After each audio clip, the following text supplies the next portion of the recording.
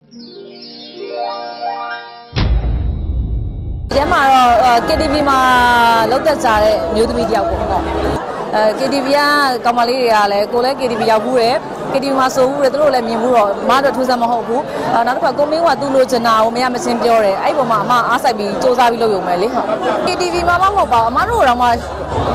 ချစ်တဲ့လူရှိရမုန်းတဲ့လူရှိရလေဘယ်လုံးမဆိုရင်ဟိုကိုယ်ချစ်တဲ့လူရှိရမုန်းတဲ့လူရှိရအဲ့ဒီဟာကြတော့အမတို့တော့မှဘာမှ just မလုပ်ချင်ဘူးပြောလည်းမပြောချင်အားလုံးကတော့တကယ်တော့ကိုယ့်ဘဝကိုအကောင်းဆုံးဖန်တီးပါအဲ လက်မှန်ကမ်းမှန်လျှောက်ပါဒါဒါအကောင်းဆုံးပါတော့ဟုတ်အာဒီကနေ့တော့ပြည်သက်အချိန်ကုန်ခါကြုံငွေကွမ်းကြိုနှက်မှာပါအဲပြည်သက်ဒီထဲမှာရည်စရာလေးတွေလည်းပါတယ်ငိုစရာလေးတွေလည်းပါတယ်ဟုတ်အမမွေးနေ့ကတော့ဒီနေ့ကတော့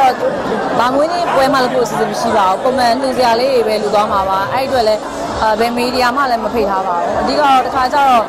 ကိုကဟိုပါပေါ့နော်ကိုယ့်ရဲ့အလူမှာသူများကဟိုတာတုခေါ်နိုင်အောင်ပေါ့နော်မူရီတာပွားနိုင်အောင်လောက်တာမှန်မဲမဲလေတစ်ခါကျတစ်ဖက်ကမိဘမဲ့ကလေးတွေကအဲအဲအဲ့တက်က